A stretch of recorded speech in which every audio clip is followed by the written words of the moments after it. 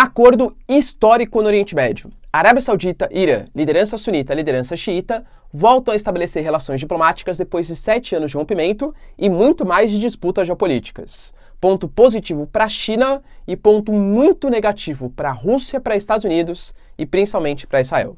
Brasil convida Uruguai e Paraguai para serem membros do G20, pelo menos de maneira provisória, e o nosso quase chanceler aí, Celso Amorim, faz uma visita diplomática à Venezuela. O que, que foi discutido? A China tem a reeleição do Xi Jinping e o Lula promete fazer uma visita à China ainda no mês de março. Quais são os objetivos? E para finalizar, o Zelensky, presidente da Ucrânia, faz grandes críticas a países da União Europeia e da OTAN, alegando que esses países só fazem uma ajuda simbólica, mas na verdade aprofundam relações com a Rússia. Enquanto isso, Inglaterra e França fazem um acordo ali anglo-franco, né? Ou seja, entre França e, e, e Inglaterra, que promete reforçar as posições na Ucrânia e fortalecer também a OTAN. Se vocês querem entender um pouco mais sobre esses assuntos, e muito mais também sobre geografia, geopolítica, atualidades, política, polêmicas, enfim. Tudo para você se manter sempre bem atualizado. Já se inscreve no canal, deixa seu like, compartilha esse vídeo, que eu, professor Ricardo, conto muito com a sua ajuda. Belezinha? Pessoal, para quem não me segue no Instagram, hein, arroba prof, Ricardo Marcílio, me segue lá. E claro, se você quiser contribuir financeiramente aqui para o canal, seja membro ou faça uma contribuição também via chave Pix, pessoal. Sensacional, tá? Caso você queira ter acesso ao curso mais completo do Brasil de Geografia, Geopolítica e Atualidades, para o seu concurso, para o seu vestibular, redação, enfim, ou pela mente para ter, ter, ter conhecimento de mundo, link na descrição, pessoal, que você não vai se arrepender, tá muito baratinho, contato comigo ali direto, professor, além de todos os conteúdos de Geografia e Geopolítica e Atualidades. Tamo junto? Então, bora lá pro vídeo. Ó. Seguinte, uh, talvez a notícia mais importante, com certeza, é, talvez com certeza, né? A, seria a volta das relações diplomáticas entre Irã e Arábia Saudita. Eu estou falando para vocês de países que têm um território gigantesco, que têm um potencial gigantesco em gás, em petróleo. A Arábia Saudita é a segunda maior reserva de petróleo do mundo, é uma das maiores produções de petróleo do mundo, é a grande liderança da OPEP, tá? que é a Organização dos Países Exportadores de Petróleo, e sempre foi um representante, sempre assim, né? mais recentemente, é, dos Estados Unidos embora tivesse algumas complicações com alguns aliados americanos, como por exemplo Israel. Já o Irã é outro país também super importante. Grande reserva de petróleo, reserva de gás das maiores do mundo. Desde a Revolução Iraniana, rompeu as relações diplomáticas mais eficazes com os Estados Unidos e tem relações mais próximas com a Rússia, controla o Estreito de Hormuz, que é por onde passa quase um quarto de todo o petróleo mundial, percebe? São dois países muito importantes, não só economicamente, mas como geopoliticamente também. E tem rivalidades gigantescas na questão do Iêmen, na guerra por procuração entre Rússia e Estados Unidos tal. Há sete anos, esses países oficialmente eles romperam relações. Por quê? O Arábia Saudita executou um clérigo super importante para o Irã, que era o Nir al-Nirm. E aí, como retaliação, a diplomacia da Arábia Saudita foi atacada por militantes iranianos. Desde então, a relação entre os dois países ela foi rompida. Mas é óbvio que isso já vinha de muito antes. Por quê? Principalmente na guerra do Iêmen, guerra civil do Iêmen. Eu estou falando para vocês, pessoal, dos Houthis, que são um grupo de xiitas que luta contra, hoje, atualmente, uma coalizão militar e apoio do governo do Hadi, que é sunita. E aí tem uma outra guerra por procuração, onde a Arábia Saudita apoia essa conjuntura militar né, com, com o Hadi e a, o, o Irã apoia os xiitas dos Houthis. Então a relação entre os dois era péssima. Pensando nisso, a China, e a China, olha que interessante, né? Galera, aprofundou relações com o Irã. A gente não pode esquecer que ano passado, por exemplo, a Arábia Saudita aceitou negociar em yuans o valor do barril de petróleo com os chineses, tentou voltar a estabelecer relações diplomáticas com os dois. Nesse processo, o Iraque, vizinho do Irã, foi super estratégico, tá? Essa tentativa de voltar a ter, ter, ter diplomacia vem desde 2021, então reuniões aconteceram em 2021, 2022 e agora em 2023, e o Wang Yi, que é o grande representante das relações exteriores chinesas, participou inclusive da assinatura desse tratado, né, desse aperto de mãos, que promete voltar a abrir as embaixadas na Arábia Saudita e no Irã dentro de um prazo de um máximo dois meses. O Biden, presidente americano, ele se pronunciou parabenizando, falou, poxa, que legal, voltar a ter relações diplomáticas. Mas convenhamos que é muito proforme, tá? Tanto Biden quanto Rússia, a gente não pode esquecer isso, tá? O Oriente Médio sempre foi palco de disputas, desde a Guerra Fria, cada um com seus aliados. A China nunca teve grande poder de penetração nos agentes políticos locais. Mas é claro que hoje a geopolítica é muito diferente e o dinheiro chinês fala muito mais alto, né? É, o Biden não, a, parabenizou e o Putin, por enquanto, não se pronunciou, pelo menos não no que eu achei, tá? Mas muito possivelmente também vai parabenizar. Só que óbvio que é uma preocupação. A gente não pode esquecer. China e Rússia são aliados de momento porque estão lutando contra uma coisa maior que eles consideram que é o Ocidente. Mas China e Rússia não são países historicamente amigos. Tem disputas territoriais, tem disputas geopolíticas para saber quem vai controlar, por exemplo, a região da Ásia Central, aquele bolsão de gás natural, a China financiando investimentos, a nova rota da seda, a Rússia querendo manter sua região de influência. E esse acordo mediado pela China e não por Rússia e Estados Unidos abre um novo precedente perigoso de perda de influência, de hegemonia para essas duas potências, tá? Para Rússia e Estados Unidos. Pois bem, nesse acordo que, que, que foi firmado, vale ressaltar, galera, há, há uma preocupação para vários membros. Rússia e Estados Unidos, como eu falei para vocês. Para o Iêmen, a notícia ela pode ser positiva, claro, né? Porque se a gente para de ter Arábia Saudita apoiando um lado e Irã apoiando o outro, pode ser que o Iêmen, que é um dos países que passa pela pior crise humanitária contemporânea, tenha algum tipo de processo de paz, isso é super interessante, mas é super perigoso para Israel. Ah, o que, que eu estava falando para vocês, né? A Arábia Saudita, ela recebe muito investimento dos Estados Unidos. Pô, legal. E Israel também. O Biden, inclusive, tentou no passado recente fazer uma visita diplomática a Israel, beleza, fez, e uma visita diplomática à Arábia Saudita, falando: Arábia Saudita e Israel, retomem aquelas relações diplomáticas, façam uma ponte aérea tal. A Arábia Saudita, pessoal, não aceitou. Na época, o Wall Street Journal, né, uma mídia americana, até colocou que a Arábia Saudita ela tinha pedido para voltar a ter as normalizações das relações diplomáticas, a instalação de um reator nuclear pacífico, só que a gente sabe que no futuro poderia ser usado para fins bélicos, né, para fazer uma arma nuclear. Os americanos não teriam aceitado e a Arábia Saudita não normalizou as relações com Israel. A Arábia Saudita, por mais que seja uma aliada de ocasião dos Estados Unidos, não concorda com Israel porque defende os palestinos. Praticamente toda a Liga Árabe, né, também defende a causa palestina no território ali da, da, da causa dos árabes no território da Palestina, tá bom? Então existem rivalidades.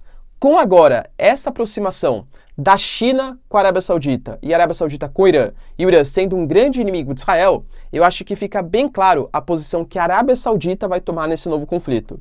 Realmente nós somos inimigos de Israel. E vale lembrar que a Arábia Saudita, como essa grande liderança, ela puxa outros países próximos, como por exemplo o Kuwait, o Bahrein, Emirados Árabes Unidos, são todos países que, em geral, vão meio que na esteira da Arábia Saudita. Então, isso pode representar um isolamento e uma periculosidade ainda maior para o Estado de Israel. Ainda mais, como a mídia americana está supondo, se a China, para conseguir estabelecer essa relação diplomática, prometeu para a Arábia Saudita um reator nuclear. Isso não é confirmado, isso é especulação, mas na geopolítica a gente sabe que tudo pode acontecer, tá? Então, assim, é um acordo histórico, vale lembrar que o Irã já assinou uma carta de intenções para entrar nos BRICS+, possivelmente esse ano vai acontecer, assim como também Argentina, Egito, e a Arábia Saudita também está assinando, né, também muito possivelmente vai entrar nos BRICS+. Nessa nova aliança, nesses novos BRICS, que promete não ser somente uma questão econômica, mas muito mais uma questão geopolítica de representatividade dos países emergentes. Entende o crescimento geopolítico da China? E isso em contraposição aos interesses russos e americanos ponto importantíssimo para a geopolítica mundial. O Brasil, esse ano, vai mediar, né, vai liderar o G20, as 20 maiores economias do mundo, e alguns membros estão entrando no processo. O Biden convidou a União Africana, são 55 países, para fazer parte também das reuniões do G20, e o Brasil convidou Paraguai e Uruguai. Ou seja, todos os países do Mercosul, excetuando a Venezuela que está suspensa e a Bolívia que ainda vai ingressar no bloco, vão fazer parte do G20. Isso faz parte de uma nova geopolítica brasileira de tentar fazer com que o Mercosul ganhe poder na esfera internacional. O Lula já falou, pessoal, de um novo Mercosul. O Mercosul estava muito mal das pernas por algumas questões políticas internas. Por exemplo, Bolsonaro e Benítez, direita mais conservadora. Alberto Fernandes, uma esquerda ali mais próxima de um caráter bem esquerda, né? A, a gente tem, por exemplo, Lacalipou, que é um cara direita, mas uma direita mais liberal. Essas divergências, a, a, as discussões acerca da tarifa externa comum tal, estão prejudicando muito as relações diplomáticas do Mercosul. Com a entrada, não sei se vai conseguir, mas ele promete tentar rever algumas questões. Por exemplo, o Uruguai está negociando um acordo de livre comércio com a China.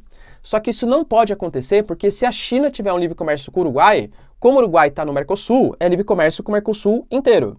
Então, o Mercosul teria que aprovar a entrada do Uruguai nesse acordo é, de livre comércio com os chineses. Entende? E aí, vamos dar mais liberdade para os países negociarem independentemente? Ou não? Vai continuar nessa postura? Então, essa tentativa de unir de novo o Mercosul, acho que é mais ou menos nessa tentativa que o Uruguai e o Paraguai vão participar das reuniões do G20 esse ano.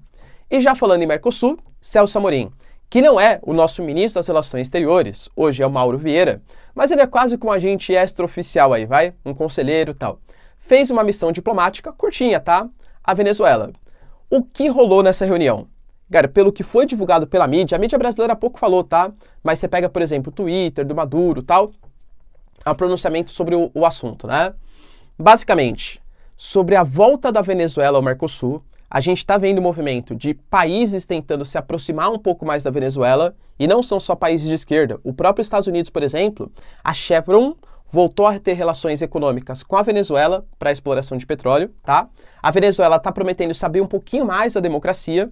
A gente sabe que o próprio Obrador Lopes, que é o presidente do México, mediou essa situação com a oposição venezuelana. O Juan Guaidó, por exemplo, que foi o cara que se autoproclamou presidente, Hoje nem é mais conhecido como representante da oposição venezuelana, tá? E as próximas eleições pode ser, pode ser que voltem a ser um pouco mais de, é, é, democráticas, inclusive com observadores internacionais. Então está negociando uma possível volta da Venezuela para o Mercosul e também, segundo a, a, a Venezuela, um tratado que vai acontecer uma visita da Venezuela ao Brasil sobre a questão dos povos Yanomamis que sofreram não só esse ano, né, mas ao longo dos últimos anos, das últimas décadas, inclusive, com a disputa ali entre poceiros, garimpeiros e as próprias reservas indígenas. Então, isso que foi deliberado.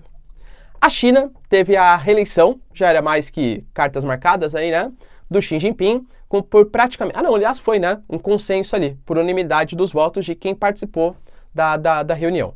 Pois bem, pessoal, foi parabenizado pelo Putin, é óbvio que seria, tá?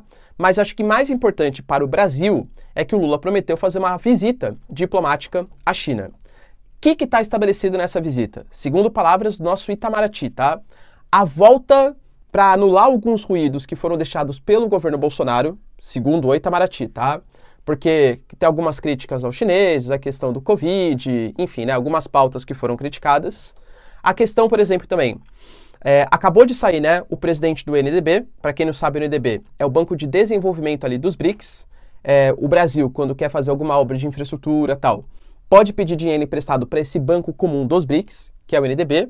Inclusive, ele foi criado numa reunião lá em 2014, em Fortaleza, quando a Dilma era presidente, e agora, com a saída do atual presidente do banco, o Brasil vai poder indicar essa nova peça, né, essa nova presidente, e muito possivelmente a indicação vai ser a Dilma Rousseff. Então, isso também vai ser debatido, tá? Quem vai ser a nova indicação para presidente. E a questão também do Grupo pela Paz. Vai lembrar que o Brasil e a China apresentaram propostas de paz, por enquanto cessou um pouco essas discussões, mas a, a reunião promete também falar um pouquinho sobre a paz na guerra da Ucrânia. Uh, notícias importantes também relacionadas. Uh, o Zelensky, que fez críticas pessoal severas a alguns países da União Europeia e da OTAN. Não citou nomes, mas a gente sabe de quem possivelmente ele está falando. A Polônia, por exemplo, embora tenha mandado Leopard 2, ajuda militar, não cortou a importação de petróleo que vem da Rússia. A Espanha, na mesma esteira, embora tenha declarado apoio, mandado alguns armamentos, tudo tal, aumentou em 45% só no ano passado a importação de gás natural que vem dos russos. Então Zelensky falou: olha, é muito bonito o que alguns países da União Europeia e da OTAN estão fazendo, mas é só uma ajuda simbólica. São poucos tanques, poucos armamentos e eles fazem questão de contornar sanções econômicas praticadas pelo G7, enfim, né, pelas grandes, é, pelos países ocidentais que estão liderando esse processo de sanções, pensando meramente nas suas questões econômicas internas e não na geopolítica internacional. E até pensando nisso, um país que aí com certeza está realmente criticando os russos, que é o Reino Unido, Rishi Sunak, fez um, uma reunião com Macron uma reunião que não acontecia desde 2018, né, entre Inglaterra e França, pelo menos não no, no, na conferência que geralmente eles fazem, e eles prometeram algumas questões. Primeiro, a gente vai ter que desenvolver novos armamentos para a OTAN, inclusive com def, como defesa frente à, à Rússia, tá? falando de mísseis de longo alcance e tudo tal, e prometeram mais ajuda também para os ucranianos. Algumas questões internas foram discutidas, como, por exemplo, a autonomia energética do Reino Unido. O Reino Unido passa também por um aumento do preço da energia e tal, e quanto mais energia produzir, melhor. A grande liderança europeia hoje na produção de usinas nucleares, e o próprio Macron, recém-reeleito, ano passado, né? Ele prometeu, galera, aumentar o número de usinas nucleares. Algumas usinas francesas vão ser construídas também no território do Reino Unido para aumentar a sua capacidade energética. Tudo bem, pessoal? Deu para entender os principais acontecimentos? Se vocês curtiram o vídeo, então, ó, já deixa seu like, se inscreve no canal. Tamo junto, beijos, abraços e tchau, tchau.